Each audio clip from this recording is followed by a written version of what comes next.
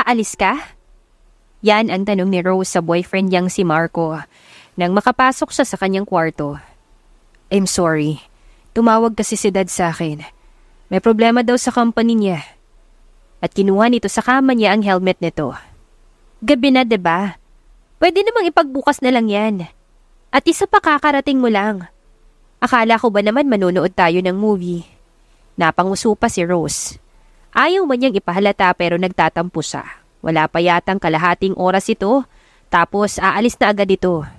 Ilang araw pa naman sila na hindi nagkita, kaya akala niya ay masusulit na niya ang gabing ito kasama ang mahal na mahal niyang boyfriend. Bumuntong hininga si Marco at naglakad palapit sa kanya. Nang makalapit ito, siniil siya nito ng halik sa kanyang noo. Importante kasi yon baby. Alam mo naman na ipapamana sa akin ni dad yung kumpanya niya. Kaya kailangan kong tumulong sa paglutas ng problema nun. I'm really sorry. Sa susunod, hindi na kita bibiguin. Sa ikalawang pagkakataon, muling hinalikan ni Marco ang noon niya. Nagpakawala ng marahas na hangin sa bibig si Rose at nanlulumong umupo sa kanyang kama. Sa susunod, di na siya nito bibiguin. Hindi lang itong unang beses na nangyari ito. Maraming beses na siyang binigo nito at malakas ang kutob ni Rose na may ginagawa itong hindi maganda. Sinubukan niyang pilitin ang sarili na maniwala na hindi nagloloko si Marco dahil mahal niya ito. Pero walang gabing hindi siya binabagabag nito. At para matigil na ang panghihinala niya, nagdesisyon si Rose na sundan si Marco. Kumuha siya ng jacket sa kanyang cabinet at kinuha rin niya ang susi ng kanyang kotse bago dali-daling pumanaog sa unang palapag. Nang makababa, dinako agad ni Rose ang main door at lumabas mula doon. Saktong paglabas niya ay nakita niya ang pag-alis ni Marco.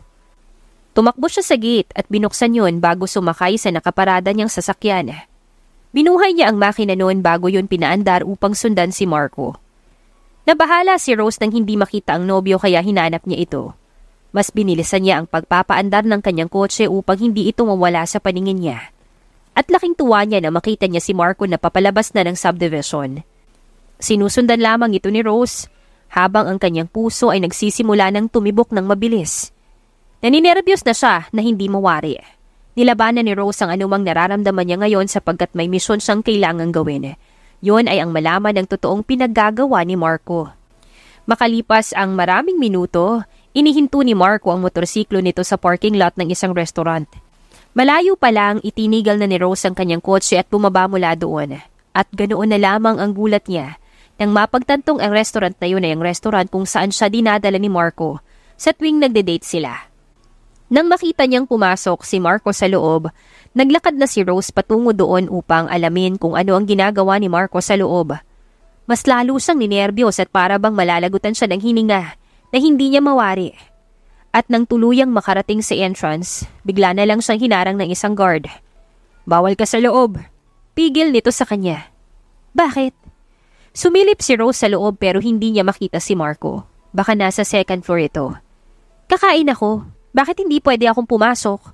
Pagsisinungaling pa ni Rose sa guard. Hindi kita pwedeng papasukin kung ganyan yung suot mo. Tingnan mo nga yung suot mo. Maayos ba yan? Pantulog lang naman yung suot mo eh. Pinagbasda ni Rose ang sarili. Nakasuot siya ng jacket at may suot siyang t-shirt. Ang pambaba naman niya ay pajama at ang sapi naman niya sa kanyang mga paa ay tsinelas. Nakalimutan niya na kasing magpalit dahil sa pagmamadaling masundan ng kanyang boyfriend. Gutom ako, okay? Gusto kong kumain. Pangungulit ni Rose. Kung gusto mo talagang kumain, magpalit ka muna. Policy is policy, ma'am. Pero kung magpapalit ka pa, wag na lang. Magsasara na rin kami mamaya-maya. Kuya, please. Hayaan mo na akong makapasok sa loob. Hindi po talaga pwede, ma'am. Gusto mo bang umiyak ako, kuya? Nguso ni Rose. Kahit tumagulhol ka pa dyan, ma'am, hindi kita papapasukin. Sige na, ma'am. Umalis ka na. Babe, what are you doing here? Bakit nasa labas ka? Akala ko nasa loob ka na. Mabilis na napatingin si Rose sa kanyang likuran at napakunot ang noon niya na makita ang isang papalapit na lalaki. Nang makalapit ito, laking gulat na lang niya nang bigla siyang yakapin ng lalaki at ipinagsalikop ang kanilang mga kamay. Gulat na gulat na hindi makaimik si Rose habang nakatingin sa maamong mukha ng lalaki. I made a reservation for us. Pwede na ba kaming pumasok? Tanong ng lalaki sa guard. Date niyo po yan, sir? Tanong ng guard. Yes. May problema ba doon? Ah, wala sir. Sige po, pwede na po kayong pumasok. At binuksan na nito ang pinto ng restaurant. Respect my girlfriend kung ayaw mong matanggal ka sa trabaho. Yan ang huling litanya ng lalaki bago nito hinila si Rose papasok sa loob. Hindi maproseso ni Rose ang mga nangyayari kaya na makalayo na sila sa guard, binawi niya ang kamay niya mula sa lalaki. Sino ka? Ba't mo ko niyakap? At bakit mo sinabing girlfriend mo ko? Naguguluhang tanong ni Rose sa lalaki. Hindi ba pwedeng maging masaya ka na lang sa ginawa ko? Wow! Gusto mong maging masaya ako? You just hug me. Anong ini-expect mong maging reaksyon ko? Kiligin? Bakit? Dahil pogi ka. Pumapamewang si Rose habang diretsong nakatingin sa lalaki na kung susumahin ay mga nasa 6 feet ang taas nito. Gumisi ang lalaki. Alam ko andito ka kasi nandito din yung boyfriend mo. Tama ba? Paano mo nalaman? Hindi makapaniwalang tanong ni Rose sa lalaki. It doesn't matter, miss. Come here. Tutulungan kita. Nang muling hawakan ng lalaki ang kamay niya, hindi na niya yon binawi. Hinayaan niya na lang ito kahit gulong-gulo siya Naglalakad na sila patungo sa second floor ng restaurant. Nang makarating, nagtungo sila sa isang lamesa na nasa bandang dulo. At nang maupo sila, kaagad na hinanap ng mga mata ni Rosie Marco. Hindi pa man nakakaisang minuto, pakiramdam niya ay dinurog ang puso niya nang makita si Marco sa isang lamesa habang may kasamang isang babae. Masayang nagkukwentuhan ng dalawa habang kumakain. Pinipigilan niya ang maluha dahil ayaw niyang mag-iskandalo. Kinalma niya ang sarili subalit hindi niya magawa. Sa sakit na nararamdaman, hindi niya mapigilan ang mapaiyak. Tahimik lang ang pag-iyak niya ng mga sandaling yun. Nagpakatanga siya. Ginawa siyang tanga ni Marco. Minahal niya ito ng sobra, tapos ito lang ang igaganti nito sa kanya. Ang lokohin siya. Ilang araw, linggo, at buwan na ba siya nitong niloloko? Gusto niyang sumabog ng mga oras na yon para mailabas ang sama ng loob na nararamdaman niya. Hindi niya deserve ang katulad ni Marco. Handa na sanang sugurin ni Rose ang dalawa nang bigla siyang pigilan ng lalaki. Anong gagawin mo? Susugod ka? For what? Para saktan siya? What were you thinking? Iniisip mo ba na kapag sinaktan mo siya, mawawala na ang sakit na nararamdaman mo? Ano bang pakialam mo? Labas ka na dito. This is my problem and not yours. Mind your own business. Sa iritasyon ni Rose, imbis na sugurin ng dalawa, mas pinili na lang niyang lumisan. Nagtatakbo sa palabas ng restaurant at natuluyang makalabas, dali-dali niyang dinako ang kinaroroonan ng kotse niya. Nang makarating si Rose doon, binuksan niya ang pinto. At nang akmang papasok na sana siya, may biglang nagtulak ng pinto at nang tingnan niya kung sino ang may gawa noon, mas nadagdagan ang iritasyon niya nang makita ang lalaki. Wala akong panahon para makipag-usap sa'yo. Pwede ba umalis ka na lang? Walang emosyon na tura ni Rose sa lalaki. Alam kong nasasaktan ka, miss. Masakit naman talaga na makita mo yung mahal mo na may kasamang ibang babae. But we're in the same boat, miss. Nasasaktan din ako. Wala akong pakialam kung nasasaktan ka man. Just get out. Pagtataboy niya sa lalaki subalit mukhang hindi alintana nito ang pagsigaw niya. Alam ko. Wala akong pakialam kung wala kang pakialam. Pero gusto ko lang sabihin na ang babaeng kasama ng boyfriend mo ay girlfriend ko. She is Stella, and she's my girlfriend. Halos hindi alam ni Rose ang magiging reaksyon niya matapos marinig yon sa bibig ng lalaki. Bakit kasi hindi mo sinabi sa akin agad? Bumaba ang boses ni Rose dahil pareho lang pala sila ng lalaki. Pareho lang silang nasasaktan ngayon. Para saan pa? Gumisi ang lalaki. Stella cheated on me and I don't care about her anymore. But you know, Ipapakilala ko na sana siya ngayong gabi sa mga magulang ko. Gusto ng daddy ko na pakasalan ko ang anak ng kaibigan niya. E paano ko naman papakasalan yung babaeng hindi ko naman mahal? So I refused, thinking everything will be alright. Plano ko ipakilala si Stella sa kanila ngayong gabi. Pero paano kung ganito yung nangyari? Niloko ko ni Stella. Niloko ko ng babaeng mahal ko. Emosyonal na litanya ng lalaki. Kitang-kita ni Rose ang kalungkutan sa mga mata ng lalaki. Hindi niya alam kung anong gagawin niya para makomfort ito dahil una sa lahat, hindi naman sila magkakilala. So anong plano mo ngayon? Mukhang wala ka ng choice kundi pakasalan yung anak ng kaibigan ng daddy mo. No! Madiing saad ng lalaki. Hindi ako magpapakasal kay Athena. She's not my type. Ikaw ba? Magpapakasal ka sa taong hindi mo kilala? Hindi, 'di ba? Siyempre hindi. Kasi kung gagawin ko yun, ginawa ko ng tanga yung sarili ko. Sa tingin mo ba mag-work yung kasal na yun? No. I know, right? Tatangu-tangong wika ng lalaki. I have a condition with you, miss. But first, I want to know your name. Rose Smith, ikaw. I'm Samuel Martinez. Nang inangat ni Samuel ang kanyang kamay, kaagad yung tinanggap ni Rose. Pwede ba tayong magpanggap na mag-asawa tayo? Deretsahang tanong ng lalaki na ikinalaki naman ang mata ni Rose. Nagpapatawa ka ba, Samuel? Natatawang tanong ni Rose sa lalaki. I'm serious, Rose. Kailangan lang na may maipakilala ako sa parents ko. Please, Rose, you have to help me. Ayokong pakasalan si Athena. Pangungusap ni Samuel. May biglang naisip si Rose. Kung magpapanggap silang dalawa ni Samuel, pwede rin yung maging daan para inggitin sina Marco at Stella. Pwede nilang ipamukha na hindi sila kawalan, nakapalit-palit sila. Malapad nang umiti si Rose. Fine, pero mangako ka sa akin na pagpapanggap lang ang lahat ng to. Bawal physical touch na mangyayari sa atin. Pagpapanggap lang, yun lang. Tumango si Samuel at itinaas ang kanang kamay. Bangako, Rose. Good. Now, paano tayo magsisimula? May kinuha si Samuel sa likuran nito. Sing-sing yun. Walang nagawa si Rose kundi isuot yon dahil kasama yon sa plano nilang dalawa ni Samuel. At napag-usapan nila na bukas na rin siya ipapakilala ni Samuel sa mga magulang nito. At bilang parte ng kanilang fake agreement, hiningi nito ang number niya at ang kanyang Facebook account. Bigay lang ng bigay si Rose dahil isa lang ang plano niya. Yon ay ang ipamukha kay Marco na hindi siya kawalan na wala siyang pakialam kung niloko man siya nito. Pero sa loob-loob ni Rose, nasasaktan pa rin siya.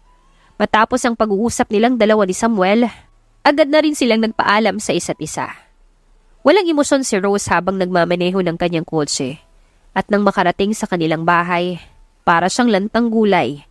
Pumanik siya sa kanyang kwarto at imbis na humiga sa kama, nagsimula siyang i-dispose sa mga bagay na ibinigay sa kanya ni Marco.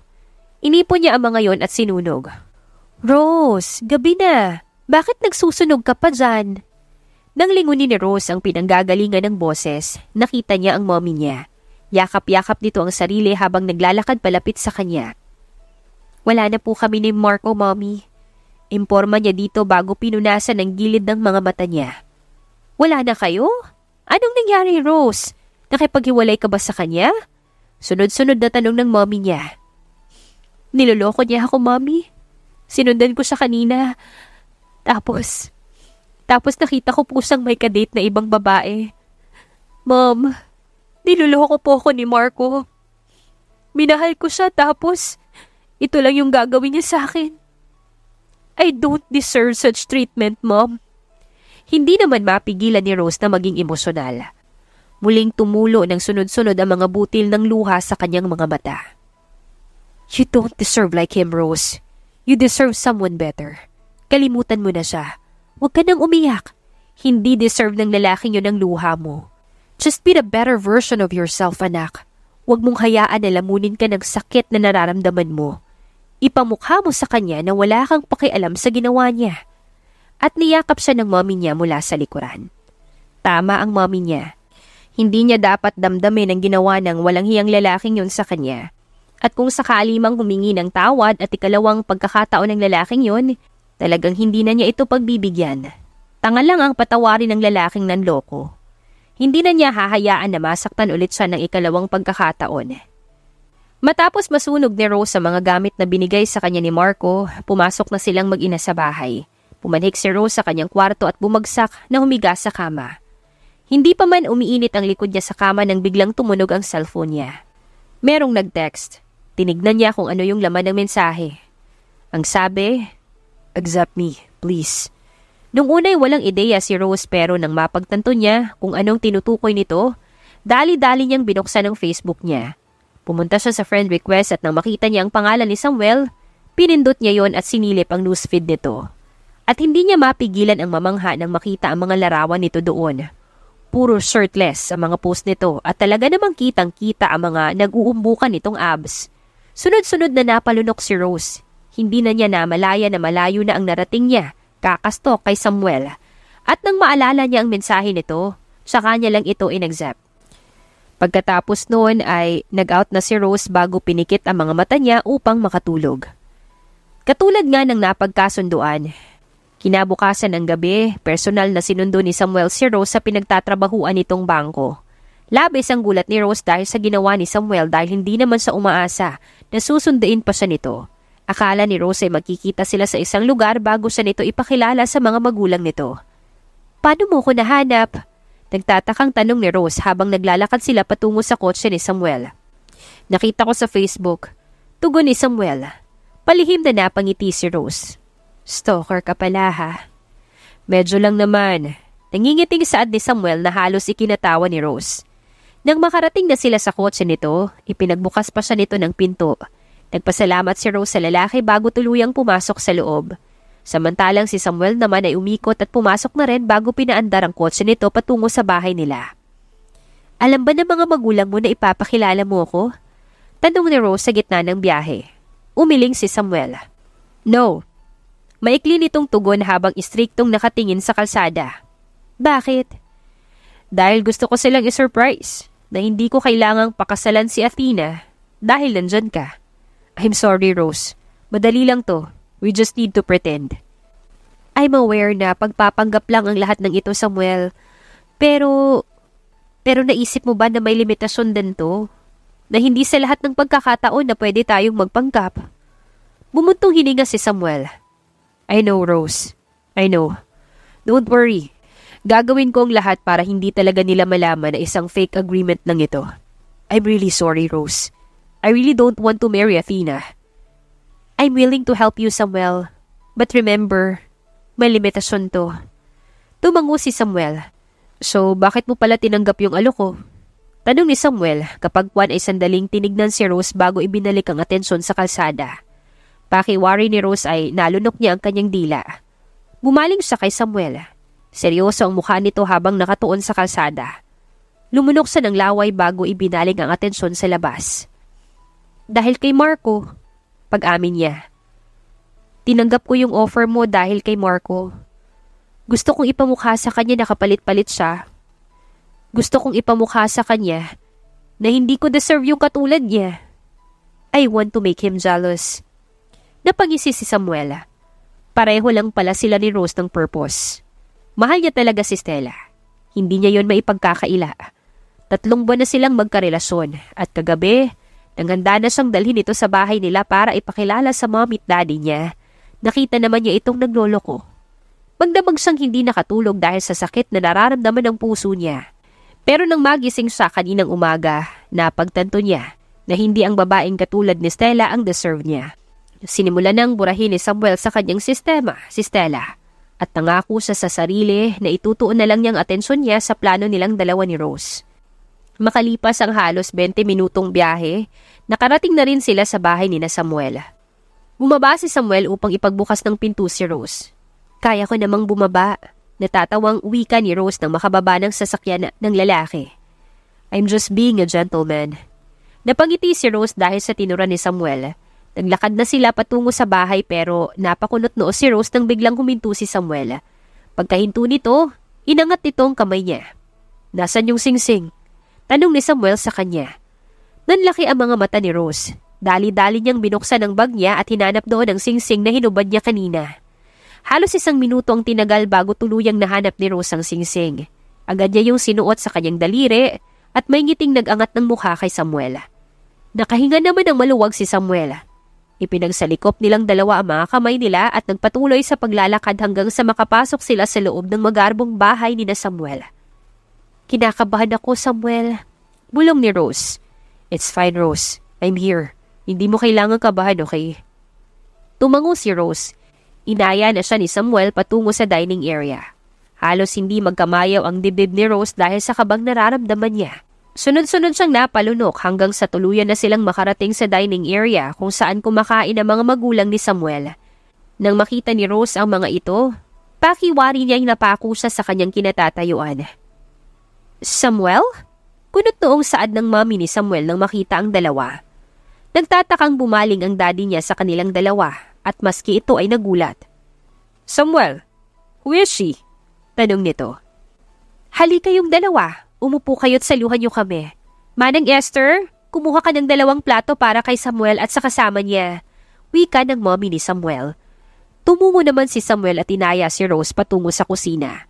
Kinakabahan man, sumama pa rin siya kay Samuel. At dahil sa magkatabi nga ang mag-asawa, umupo sila sa harap ng mga ito. Pagkaupo nila, tsaka naman naglagay ng plato si Manang Esther sa harap nila. Hindi makatingin ng diretso si Rose sa mga ito. Nakatingin lang siya sa plato niya habang walang imik. Nanginginig din ang tuhod niya. Nang mapansin yun ni Samuel, sinapon nito ang tuhod niya upang pakalmahin yun. Parang pinagsisisihan na ni Rose ang naging desisyon niya. Hindi naman siya pwedeng tumayo at umalis na lang dahil masisira ang plano ni Samuel. Ginusto niya to at wala nang atrasan. Wala ba kayong bala kumain? Tanong ng mommy ni Samuel sa kanila. Mom, Dad, I need to tell you something. Lakas loob na wika ni Samuel. Tell us, son. Wika naman ng daddy niya. Lumunok muna si Samuel bago ipinakilala si Rose. This is Rose, my wife. Nakangiting wika ni Samuel kahit sa loob-loob niya ay kinakabahan talaga siya. Mabilis na kumunot ang noon ng mom at daddy ni Samuel nang marinig yun sa anak. Sunod-sunod na napalunok si Samuel nang makita ang reaksyon ng mga ito. Bakas ang gulat sa mga ito. Halos isang minutong nanahimik ang kapaligiran bago tuluyang umimik ang mommy ni Samuel. That woman is your wife? Wala sa sariling tanong nito sa anak. Tumango si Samuel. Yes, mom. Tugon pa niya. Pakiramdam naman ni Rose ay mauubusan siya ng hangin ng sandaling yon habang hindi inaalis ang tingin sa magulang ni Samuel. Hindi niya alam ang gagawin Pakiramdam niya, nakapako siya sa kanyang kinauupuan ng oras na yon. Bakit ngayon mo lang sinabi sa amin na may asawa ka na? Tumayo ang daddy ni Samuel mula sa kinauupuan. Ni hindi mo siya pinakilala sa amin ng mommy mo. Nagpakasal ka nang hindi man lang namin nalalaman? Anong gusto mo? Maniwala kami sa kasinungalingan mo, Samuel. I know you pay that woman to pretend to be your wife. Wika pa ng kanyang ama. Hindi ako nagsisinungaling, Dad. May kalakasang sambit ni Samuel bago ito tumayo. Hindi ko binayaran si Rose para magpanggap bilang asawa ko. I love her. I love Rose. That's why I married her. I married her secretly because... Because Rose is a private person. Yes, Dad. Si Rose ang rason kaya hindi ko pwedeng pakasalan si Athena. Hindi ko siya pwedeng pakasalan dahil may asawa na ako. Dagdag pa ni Samuel. Tahimik lang si Rose dahil ayaw niyang makialam sa sagutan ng magama. At wala rin siyang ideya kung ano ang sasabihin niya kaya hinayaan na lang niya si Samuel na magsalita sa kasinungalingan nilang dalawa. At paano mo siya nakilala? Tanong ng daddy ni Samuel. I met her. I met her at the bank. Sa bangkong pinagtatrabahuan niya. Sagot ni Samuel. Yes, naaalala ko na. It's you, Rose. Tumayo naman ang mommy ni Samuel. Ikaw yung bank teller na nag-assist sa akin kanina nang makawithdraw ko ng pera.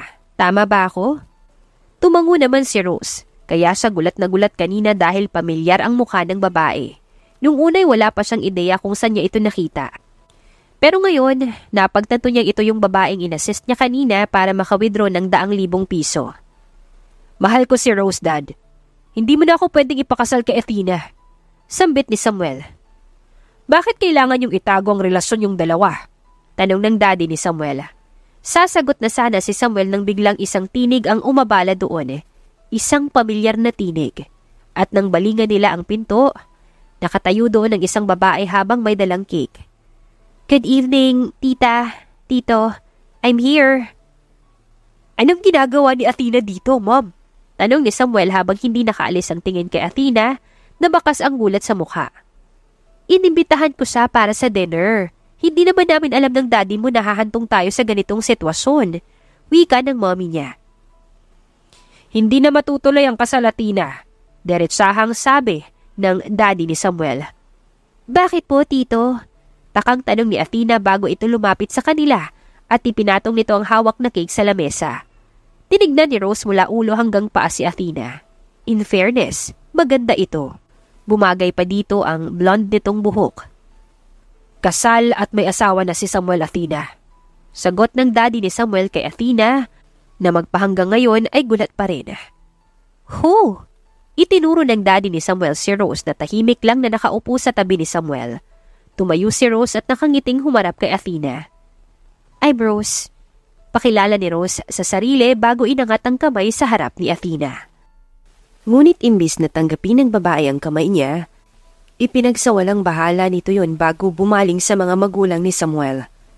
I have to go, tita. Tito. Wika ni Athena bago ito tuluyang lumabas ng dining area. Ilang minutong nanahimik ang kapaligiran at binasag yon ng daddy ni Samuel kapag Juan. Kailan kayo magkakaanak? Tanong nito na halos ikinalaglag ng mga mata ni na Rose at Samuel. Pakiwari ni Rose ay nabingi siya sa mga sandaling yun. Gulat na gulat siya habang diretsyong nakatingin sa daddy ni Samuel. Anak, wala ito sa usapan nilang dalawa ni Samuel. Ang usapan lang nila ay magpanggap bilang kasal na. Yun lang at wala ng iba. Anak po, ulit ni Rose bago lumunok ng mariin.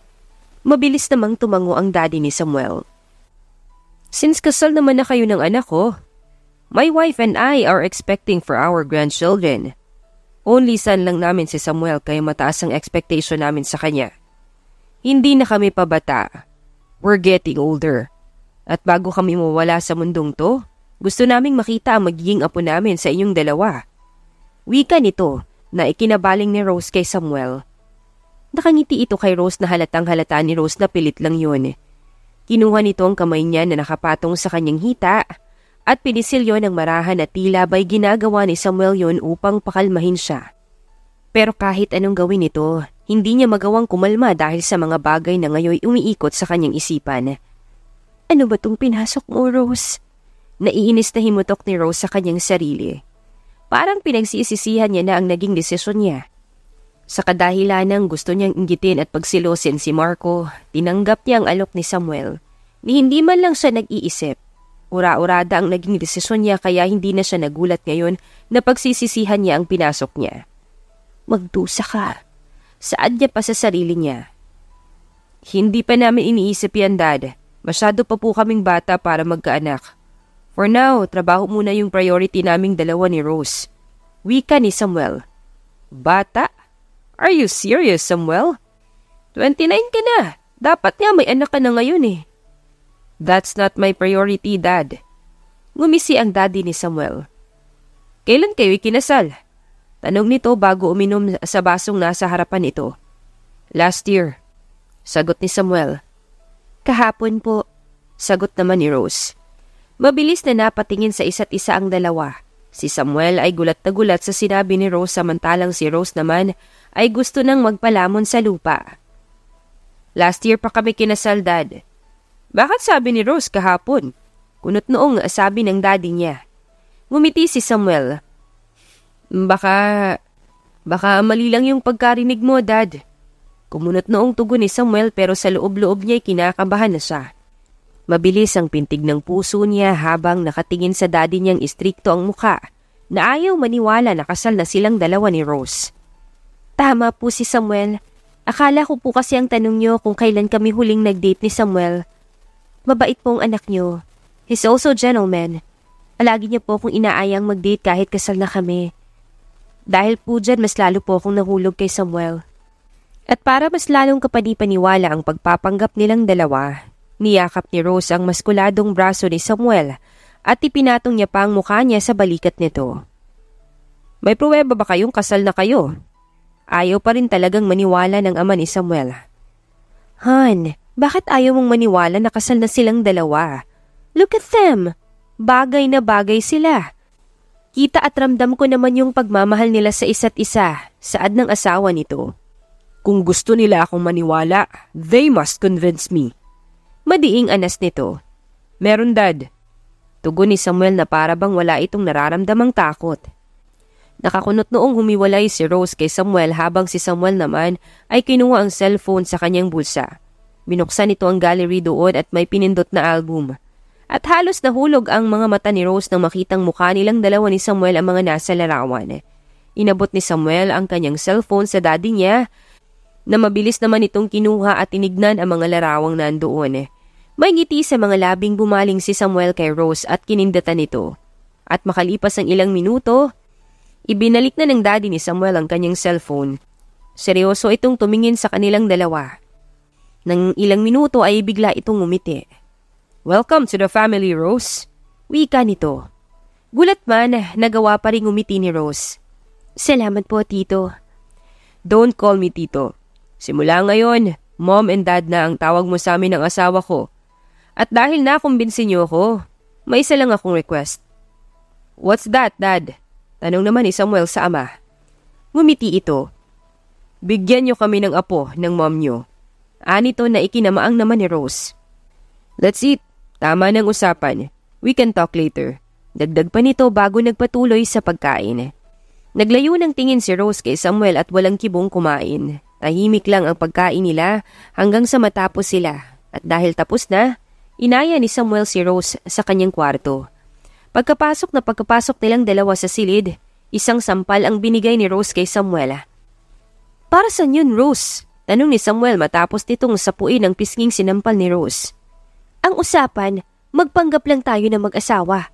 Yun lang ang usapan natin at wala nang iba. Bakit tapunta sa anak Samuel? Let's stop this. Itigil na natin to. No, hindi na natin pwedeng itigil to. Kapag nalaman nila dad na pagpapanggap lang yung lahat, magagalit siya sa akin. At matutuloy pa ang kasal namin ni Athena. I told you, I don't want to marry that woman. Problema mo na yun, Samuel. Wala akong pakialam. Itigil na natin to. Kung gusto mong ipagpatuloy, maghanap ka ng babaeng pwede mong buntisin. Dahil kung ako ang tatanungin, hindi ako magpapabuntis sa'yo. Why? Kunot noong tanong ni Samuel. Dahil hindi naman totoo ang nararamdaman natin para sa isa't isa. Pagpapanggap lang to, Samuel. Itigil na natin to. Aalis na ako. Kung gusto mong ituloy, maghanap ka na lang ng ibang babae. Yan ang huling litanya ni Rose bago din ako ang pinto. It doesn't make sense, Rose. Kung maghahanap ako ng bagong babae, makakaramdam na sila. Hindi ko pwedeng baguhin ang plano, Rose. Huminto si Rose. Problema mo na yun, Samuel. Bye. At muli siyang naglakad. Subalit hindi pa man niya tuluyang nalalapitan ng pinto ay bigla siyang niyakap ni Samuel mula sa likuran. Nanlaki ang mga mata niya dahil sa ginawa nito at nang subukan niyang kumawala, mas lalong humigpit ang pagkakayakap nito sa kanya. At makalipas ang ilang sandali, itinulak siya nito sa pinto. Iniharap siya at ikinulong gamit ang mga braso nito. What are you doing, Samuel? Let me go! Hindi ko hahayaan na masira itong plano ko na to, Rose. I'm sorry. I'm sorry for what I'm about to do. Hindi na nagawang makapagsalita ni Rose nang bigla siyang sunggaban ng mapusok na halik ni Samuel. Sinubukan niya pa itong itulak at labanan ang temptasyong nararamdaman niya subalit nabigo siya. Nadala na si Rose hanggang sa namalaya na lang niya ang sarili na sinasagot ang mapusok na halik ng lalaki. At makalipas ang ilang segundo, binuhat siya nito at dinala sa kama. Marahan siyang inilapag ni Samuel sa kama at umibabaw ito sa kanya. Humiwalay ito. I'm sorry, Rose. Muling wika ni Samuel bago nito muling nilamukos ng halik ang dalaga. Lumalim ang paghahalika nilang dalawa hanggang sa nauwi yun sa mainit na pag-iisa. Ninamnam nilang isa't isa hanggang sa hindi na nila namalayan kung ilang minuto o oras na silang nagtalik. Matapos noon, ilang minuto nilang hindi kinibo ang isa't isa hanggang si Samuel na mismo ang pumutol ng katahimikan. Dalhin mo lang yung anak ko. Masaya na ako doon. Ayokong masira yung plano ko, Rose. Nandito na tayo sa punto na natanggap na tayo ng mga magulang ko. Kaya nagmamakaawa ako. Dalhin mo yung anak ko. Wika ni Samuel habang nakatitig sa kisame. Bumuntong hininga si Rose bago mariing lumunok. Hindi ko alam kung ano tong pinasok ko, Samuel. Maling-mali itong ginagawa natin. Pareho nating alam na pagpapanggap lang ang lahat. Hindi ba't sinabi ko sa'yo na walang physical touch ang mangyayari? Ano to? We just had sex, Samuel. Promise is a promise, ba? I'm sorry. Nadala ko. Inisip ko lang ang plano ko. Sa kagustuhan kong hindi masira yung plano ko, nagawa ko yan. At sa pagkakataong yun, tuluyan ang bumaling si Samuel Keros. Patawarin mo ko. Hindi pa man natatapos si Samuel sa pagsasalita nang biglang bumaba si Rose sa kama at kinuha ang mga kasuotan niya sa lapag. Tahimik siyang nagbihis at nang matapos, kinuha niya ang bag sa upuan at sa huling pagkakataon, sumulyap siya kay Samuel. Hindi ko madadala yung anak mo, Samuel. Tinatapos ko na ang plano nating dalawa. I don't owe you an apology. Maghanap ka na lang ng ibang babae. Usal ni Rose bago tuluyang lumisan sa kwarto ng lalaki. Naiwang tigalgal si Samuel. Gusto niya pa sanang habulin ang babae pero hindi na niya nagawa. Inayaan na lang niya ito nang tuluyang mawala si Rose. Sunod-sunod siyang nagpakawala ng marahas na hangin sa bibig bago gigil na pinagsusuntok ang kanyang kama. Sa kabilang dako naman, nang makababa si Rose sa unang palapag, nasilayan niya ang mga magulang ni Samuel sa living room. Nanunood ng TV ang mga ito. Yumuko at halos takbuhin na niya ang pinto. Lumabas siya at dinako niya ang gate. At dahil hindi niya dala ang sariling sasakyan, nag-grab na lang siya. Naglakad siya palabas ng subdivision at doon na niya kinita ang grab. Nang makauwi, dali-dali niyang dinako ang kwarto subalit bigla na lang siyang natigilan nang matagpuan si Marco sa loob. Prente itong nakaupo sa kama nang makita niya ito. Anong ginagawa mo dito, Marco? Bungad niya agad dito. Where have you been, Rose? Bakit hindi ka sumasagot sa mga tawag at text ko? Galit ka ba sa akin? Did I do something that make you mad, ha? Huh? Walang preno nitong tanong sa kanya. Ngunit imbis na sagutin ito, dumiretso si Rose sa kanyang walk-in closet. Kumuha siya ng isang maleta at naglagay doon ng mga kasuotan niya. Rose, may problema ba? Anong ginawa ko? Ba't ka nag Please, answer me. Pangungulit pa ni Marco na kasalukuyang nakatayo sa likuran niya. Nagpatay mali siya lang si Rose at nagpatuloy sa pag-iimpake. At nang matapos, Sinaraduhan na niya yon at lumabas na ng walk-in closet. Sagutin mo ako! Hindi pa man natatapos ni Marco ang pagsasalita nang biglang sumingit si Rose. Oo, galit ako. Galit ako, Marco. Masaya ka? Why? Kunot noong tanong ng lalaki. Bakit? Kasi nakita kitang ng. Nakita mismo ng dalawa kong mga mata ang panluloko mo sa akin. Sinundan kita kagabi, Marco. Nagpunta ka sa restaurant kung saan mo ako madalas dalhin. Tapos nakita kita. Nakita kita na may kasama kang babae. And I know her. She is Stella, right? Huwag mong itatanggi yung ginawa mo sa akin na yun, Marco. Hindi ako bulag.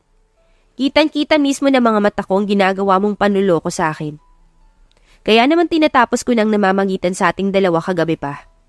Kaya wala nang saysay para pumunta ka pa dito. Litanya ni Rose habang nanlilisik ang mga mata kay Marco. I can explain, Rose. Ayokong marinig ang explanation mo, Marco. Nagawa mo na. Kaya wala nang saysay ang pagpapaliwanag mo. Umalis ka na. Pagtataboy ni Rose sa lalaki. Di ako aalis. Pagpupumilit ni Marco. Hindi ka aalis? Pwes, ako ang aalis. Katulad nga ng sinabi ni Rose, lumabas siya ng kwarto niya habang hila-hila ang maleta niya. Hinabol pa siya ni Marco pero hindi na niya ito pinansin. At habang pababa, nakita niya ang mommy daddy niya. Hinayo pa ka! Ano pang ginagawa mo dito sa pamamahay ko? Ang daddy niya habang duro-duro si Marco. I can explain, tito. Huwag mo nga akong matito-tito. Kapag hindi ka pa umalis, babarilin kita. Alis na! Dahil sa pagbabanta ng daddy ni Rose kay Marco, kahit ayaw pa ng lalaki, umalis na rin ito. At nang mawala si Marco, Saka lamang nakapagsalita si Rose. Aalis na po muna ako. Saan ka pupunta anak? Tanong ng mommy niya. Kay Lola muna. Gusto ko po muna ang magpakalayo-layo. Gabi na, Rose. Hindi ba pwedeng ipagbukas mo na lang? Ihahatid na lang din kita.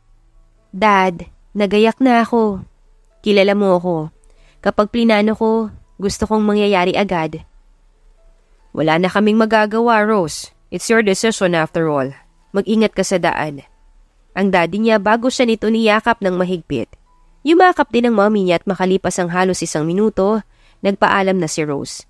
Isinakay niya sa kanyang backseat ang maleta niya bago pinaandar ang kanyang kotse patungo sa Cavite kung saan nakatira ang lola niya na ina ng daddy niya.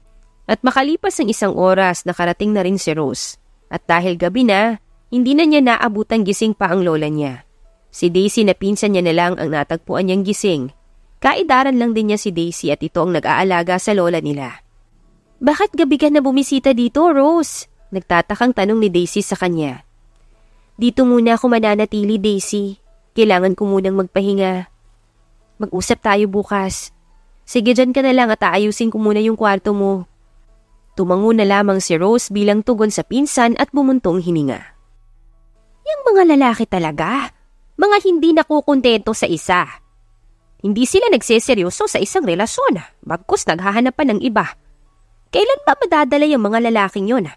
Abay akala'y mauubusan ng babae sa mundo. Umaga pa lang umaalingaw-ngaw na ang tinig ng kanyang lola. Nasa sala sila at nagkakape.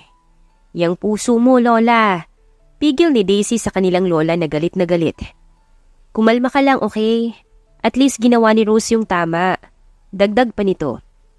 Abay dapat lang hiwalayan ang katulad ng lalaking yun. Manluloko. Tubuan sana siya ng pigsa sa kanyang puwetan. Karmahin sana siya sa ginawa niya sa iyo, Rose. Iba na talaga mga lalaki ngayon, ano? Nung panahon namin, kontento na sa isa ang mga lalaki. Yung lolo niyo, ako lang ang kaisa-isa niyang minahal. Wala siyang ex. Ako lang talaga. Napailing na lang silang dalawa sa oras na yon dahil alam nilang hahaba na naman ang usapan nila. Ganito kasi talaga yung lola nila. Paulit-ulit itong nagkukwento tungkol sa nakaraan nito at bilang mababait na mga apo, kahit paulit-ulit, nakikinig pa rin sila.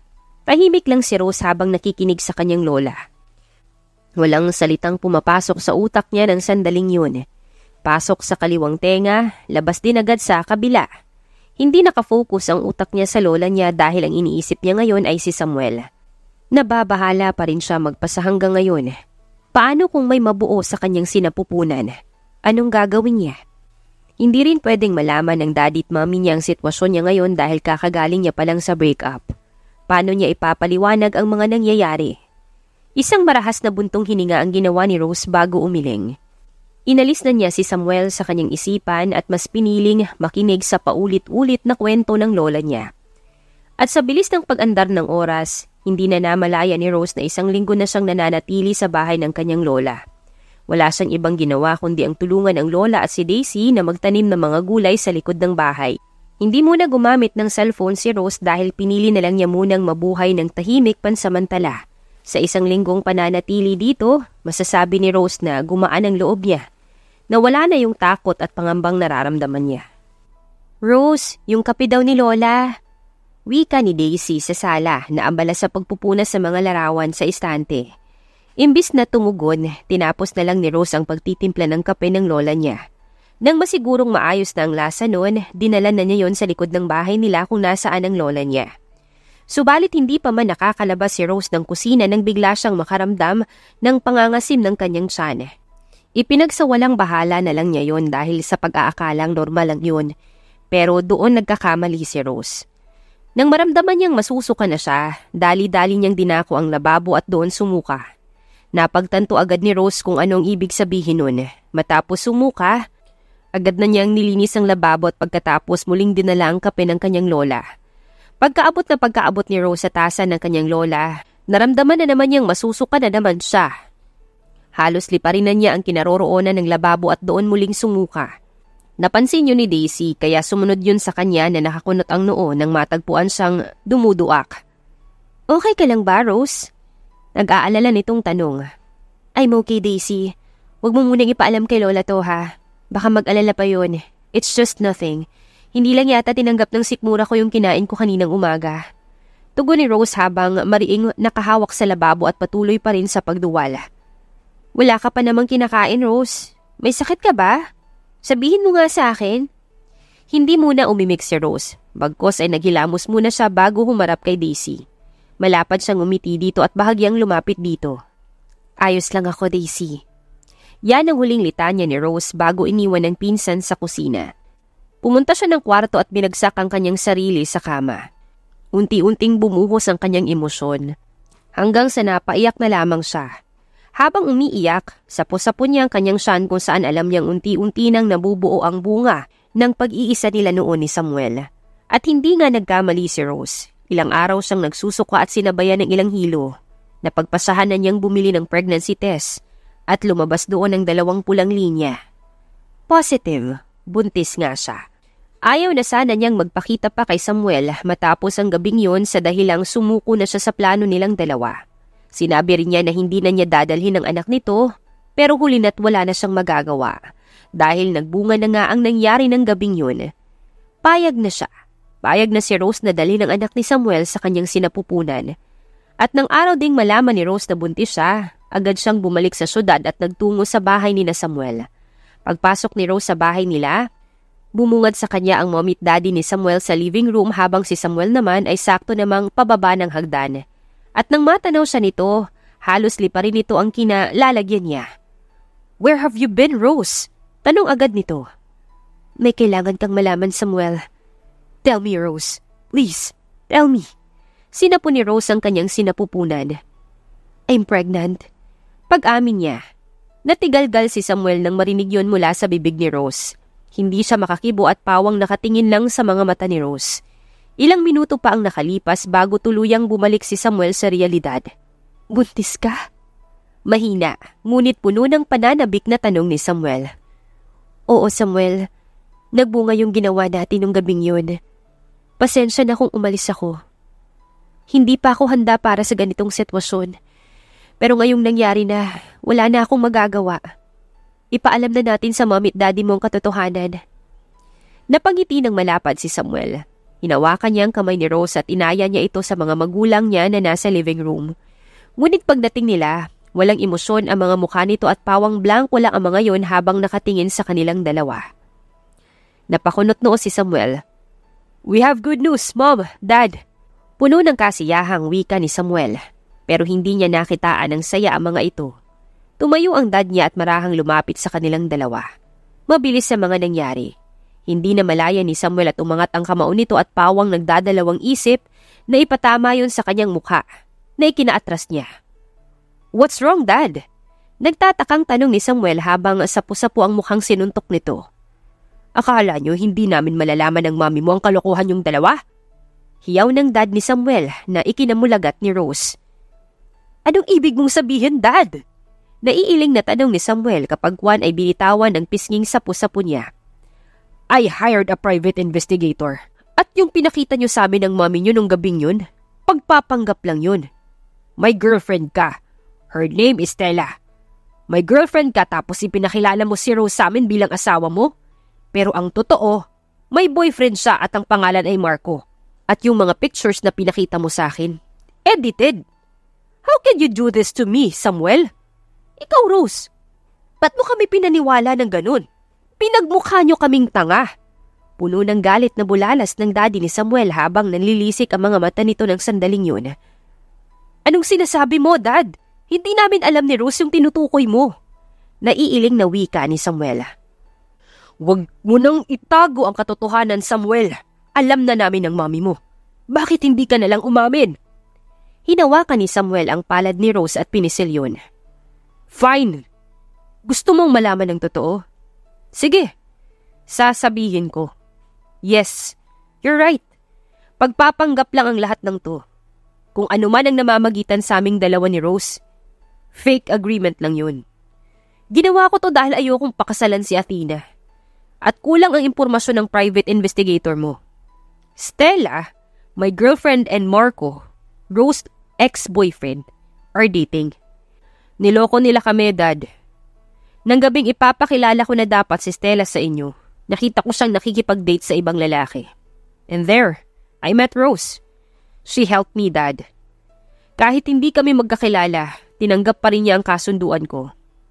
It was just a fake agreement. But now, I think it's not fake anymore. Napakunot noo si Rose sa isinaad ni Samuel sa dulo. Anong sabi mo, Samuel? Naiiling na tanong ni Rose sa lalaki. Mahal na kita, Rose. I don't know, pero pagkatapos ng gabing may mangyari sa ating dalawa, bigla na lang ako nakaramdam ng kakaiba dito sa aking dibdib. At walang segundo, minuto at araw na hindi kita hinanap. Sa loob ng maraming araw na wala ka, wala akong ibang iniisip kundi ang pagbalik mo. Mahal kita, Rose. At umaasa ako na sana'y matanggap mo ako sa buhay mo. At bilang ama na rin ang dinadala mo, Litanya ni Samuel bago nito ibinaba ang tingin sa kanyang tiyan. Hindi makaimik si Rose at waring natuod siya sa kanyang kinatatayuan habang nakatitig sa mga mata ni Samuel. Buntis si Rose? Gulat na tanong ng daddy ni Samuel. Yes, buntis si Rose. Anak ko mismong pinagbubuntis niya. Hindi na pagpapanggap to, Dad. Totoo na may nangyari sa aming dalawa ni Rose. At kung hindi niyo kami matanggap, wala na akong pakialam. I love Rose and I will do everything for her. Let's go, Rose. Wala nang nagawa si Rose kundi hayaan si Samuel na hilahin siya palabas ng bahay. Tuloy-tuloy lang sila hanggang sa makasakay sila ng kotse ni Samuel. Wala pa rin sa wisyo si Rose sa oras na yun. Pinaandar na ni Samuel ang kotse, ang utak niya iniisip pa rin yung sinasabi nito. Hindi niya maproseso yun. Totoo ba? Totoo ba na mahal siya nito? Yung sinabi mo kanina, totoo ba yun? Sa wakas, makalipas ang ilang minutong tikom, nakapagsalita na rin si Rose. Namahal kita? Oo, totoo yun. Nang gabing umalis ka, bigla ko nalang naramdaman ng bagay na naramdaman ko noon kay Stella. Hinanap-hanap kita, Rose. Ginawa kong lahat mahanap ka lang pero bigo ako. Pero hindi ako sumuko. Umasa ako na babalik ka. At hindi nga ako nagkamali. Sinapo ni Rose ang kanyang sinapupunan. Akala ko hanggang pagpapanggap lang ang lahat. Pero hindi pala. Nung una, hindi ako makapaniwala. Pero nang maramdaman kong galing sa puso mo yung sinasabi mo, naniniwala na ako. Lumunok si Rose bago bumaling kay Samuel na abala sa pagmamaneho. Mahal na rin kita, Samuel. Deserve na magiging anak natin ang maayos na magulang. Gusto kong lumaki siya na maganda ang nasa kapaligiran niya. Malapad nang umiti si Samuel Thank you for accepting me in your life. Aalagaan ko kayong dalawa ng magiging anak natin. Gagawin ko ang lahat maprotektahan lang kayo. At kahit nagmamaneho, kinuha ni Samuel ang kamay ni Rose at siniilyo ng halik sa likod. Kinikilig na naglayo si Rose ng tingin kay Samuel. Saan pala tayo pupunta? Tanong ni Rose na hindi magawang tignan ng lalaki. Sa Laguna, sa farm ni Lolo. Doon tayo pupunta, Rose. Sariwang hangin doon. At last, makakalanghap na rin siya ng sariwang hangin. Nakaramdam siya ng excitement ng sandaling yon at hindi na siya makapaghintay na makarating sa farm ng lolo ni Samuel. At makalipas nga ang ilang oras na pagbabiyahe, tuluyan na silang nakarating sa farm na pag-aari ng lolo ni Samuel. Bumaba si Samuel sa kanyang kotse at umikot sa gawi ni Rose. Kapag Juan ay pinagbuksan niya ito ng pinto. Nakangiting tinanggap ni Rose ang kamay ni Samuel bago siya nito inakay palabas ng sasakyan. Kaya ko namang bumabae. Nakangusong wika ni Rose. I'm just being a gentleman. Nakangising saad ni Samuel na ikinapula ng magkabilang pisngi ni Rose. Pagkalabas ni Rose, sumalubong agad sa kanya ang sariwa at malamig na hangin. At mula sa harap niya, tanaw na tanaw niya ang mga palay at kitang-kita niya ang pagsasayawan ng mga yon dahil sa hangin. So, we're boyfriend and girlfriend now? Wika ni Samuel na ikinatigil naman ni Rose. Natatawang bumaling si Rose sa lalaki. Ano ba sa tingin mo? Pinaning kita ni Rose si Samuel. Napakamot si Samuel ng kanyang batok. Sorry, kinaklaro ko lang. Wika nito at sinabayan niyo ng mahinang pagtawa. Mahina niyang hinampas ang dibdib ng nobyo bago dinikit ang ulo doon. Huwag mong gawin sa akin yung ginawa sa akin ni Marco ha. Ayoko na ulit masaktan. Nadala na ako.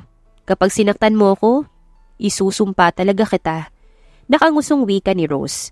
Sinapo ni Samuel ang likod ng ulo niya at marahan yung hinimas. Hindi kita lolokohin. Cross my heart and hope to die. I understand kung bakit mo sinabi sa akin yan. You were traumatized. We're in the same boat, Rose. Pareho tayong niloko. Pangako, mamahalin kita habang buhay. Dama ni Rose ang sincerity sa boses ni Samuel. Malapad siyang napangiti at sinasaisip at isinasa puso ang mga sinabi sa kanya ng lalaki. At makalipas ang ilang minuto, inaya na siya nito sa bahay ng lolo nito. Nagulat pa sila nang buksan nila ang pinto. Sumalubong ito sa kanilang dalawa habang magkakusang braso sa harap ng dibdib. Handa na ang pagkain nyo. Alam kong mahabang biyahe nyo, kaya kumain na muna kayo para bumalik ang lakas nyong dalawa. Napakunot noo si Samuel. Kakarating lang namin, lo. Paano ka agad nakapaghanda ng pagkain? O hinahanda mo yan habang wala pa kami? Gumisi ang matanda. Apo, ni hindi mo ako tinex o tinawagan bago kayo pumunta dito. Kanina, nakita ko na kayo. Sampung minuto kayong nasa labas bago kayo pumasok dito. Sa sampung minutong yun, nakapaghanda na ako na makakain yung dalawa. Halina kayo, bago pa lumamig yung pagkain. Palihim na lang na natawa si Samuel, samantalang si Rose naman ay bahagyang nawirduhan sa matanda.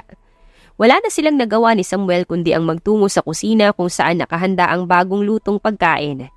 At dahil ilang oras sila sa biyahe, pareho silang gutom kaya kumain agad sila. At nang matapos, si Samuel na ang nagpresentang maghugas ng mga pinagkainan nila, kaya silang dalawa ng matanda ang naiwan sa lamesa. Wala akong kasambahay dito, iha. Wika ng matanda nang mapansin itong nakatingin si Rose kay Samuel na abala sa lababo. Bumaling si Rose sa matanda. Marunong naman po akong maglinis ng bahay, kaya hindi niyo po kailangang alalahanin yan. Nakangiti niyang wika. Tawagin mo na lang akong Lolo Pepe. Nakangiting tumango si Rose. Sige po, Lolo Pepe. Ngumiti si Lolo Pepe. Buntis ka. Hayaan mo na si Samuel na kumilos. Ayoko makikita na kumikilos ka ha. Kapag nakita kitang kumilos, papalayasin ko kayong dalawa dito.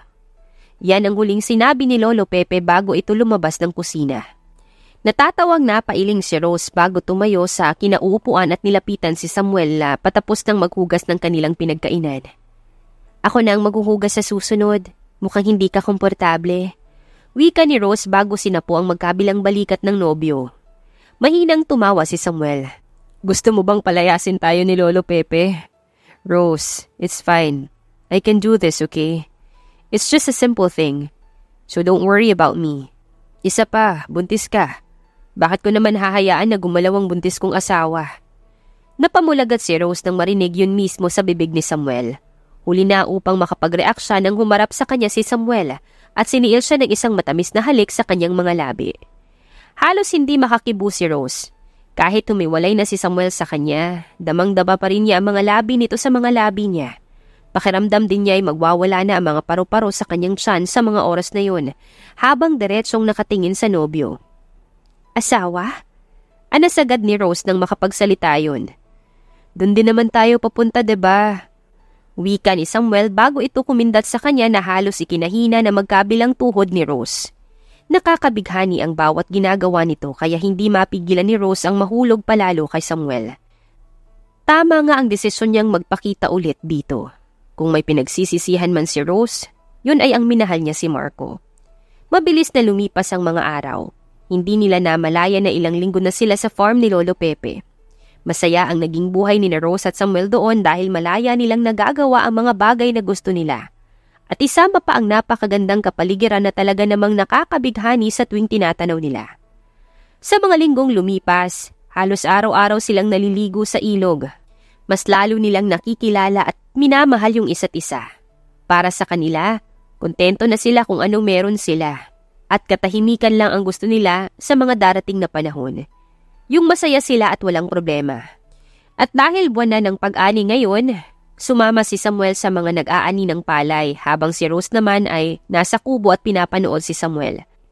Halatang halata na bihasa na ito sa larangan na yon kaya hindi niya mapigilan ang mamangha sa nobyo. Kasama ni Samuel ang mga magsasaka at ang lolo Pepe nito na talaga namang malakas pa at kayang-kaya pang bumuhat ng mga palay.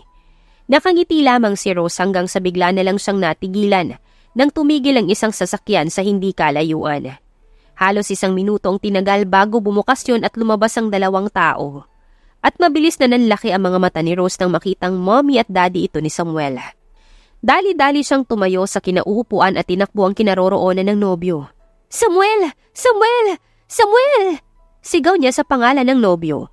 Nakakunot noon namang ibinaba ni Samuel ang hawak na mga palay at pinunasan ng pawis na namuo sa noon nito. Bakit babe? May problema ba? Nandito ang mamit daddy mo. Imporma niya dito bago tinuro ang kinalalagyan ng dalawa. Anong ginagawa nila dito? Halata sa boses ni Samuel ang iritasyon.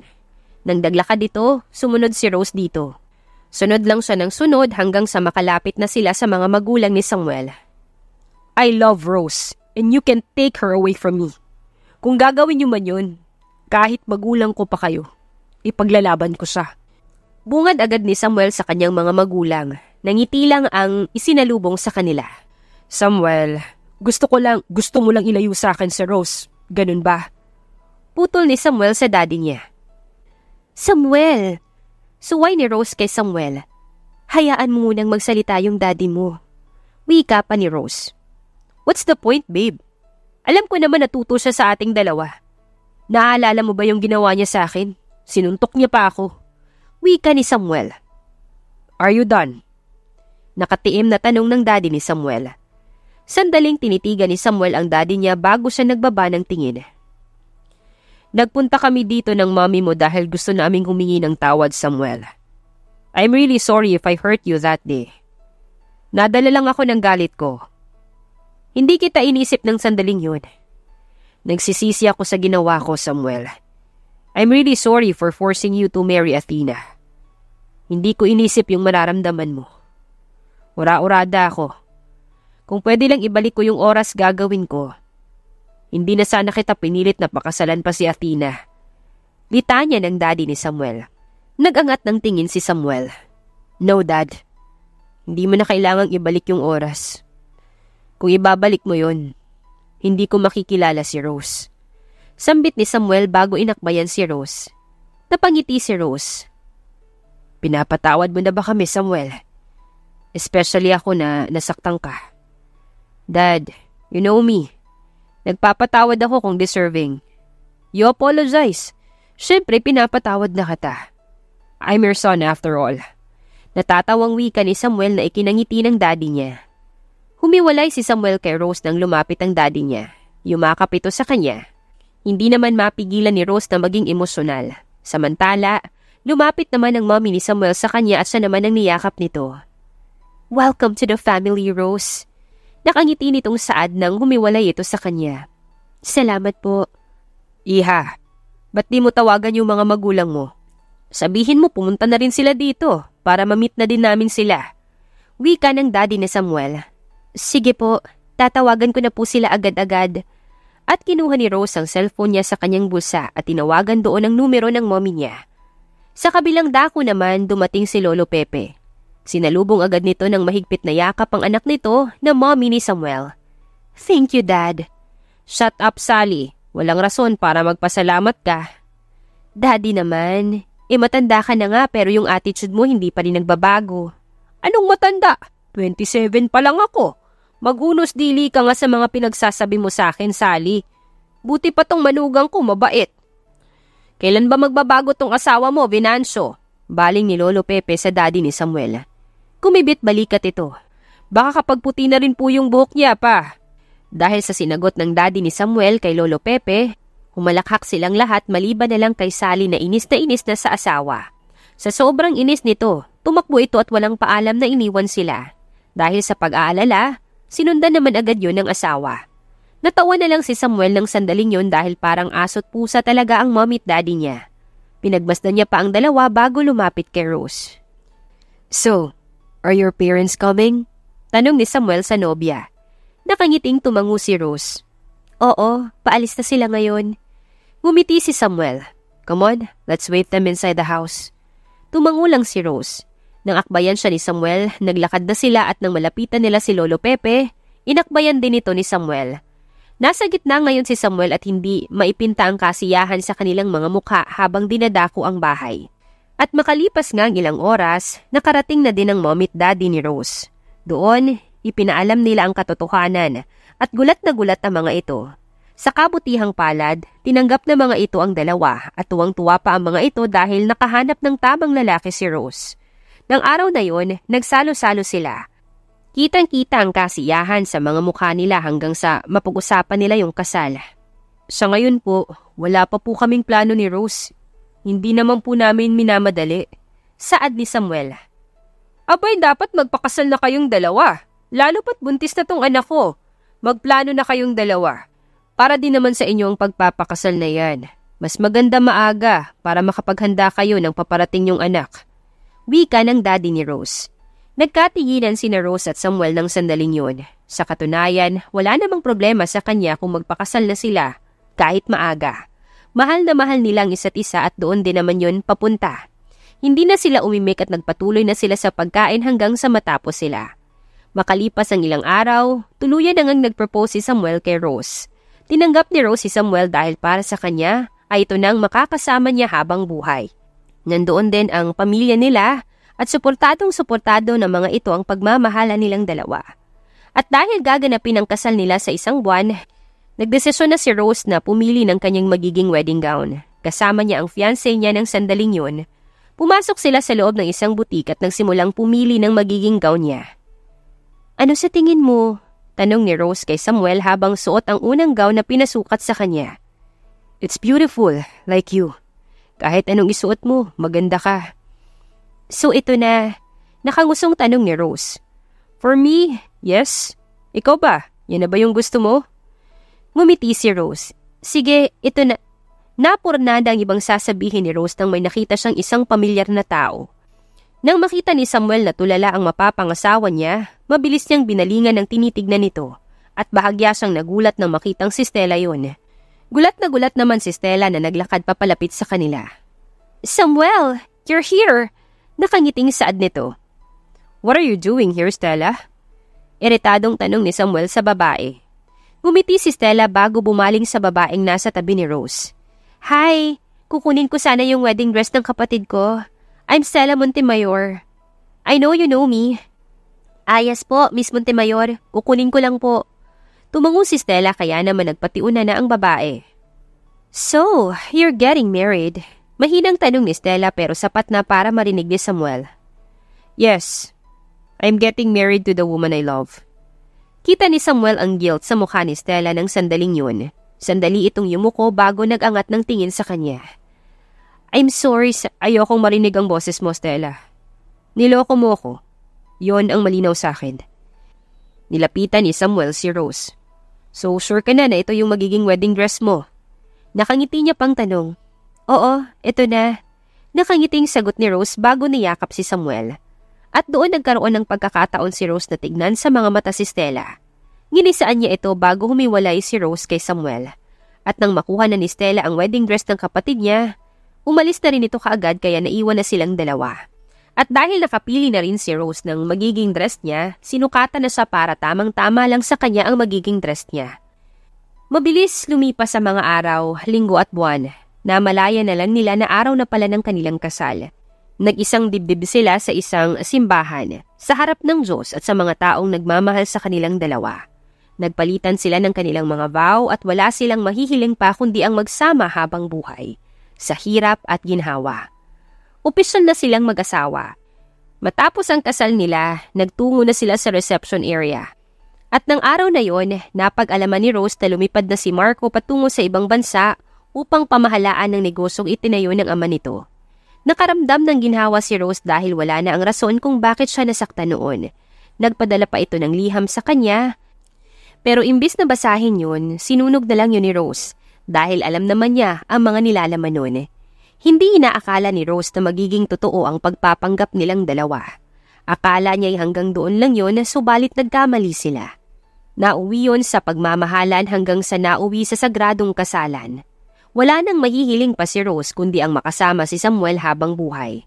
At makalipas ang ilang buwan, iniluwal na ni Rose ang panganay nilang anak ni Samuel na pinangalanan nilang Seryo. Wakas. Isa na namang kwento ang nagpakilig sa atin ngayong araw. Maraming maraming salamat pong muli sa inyong walang sawang pakikinig.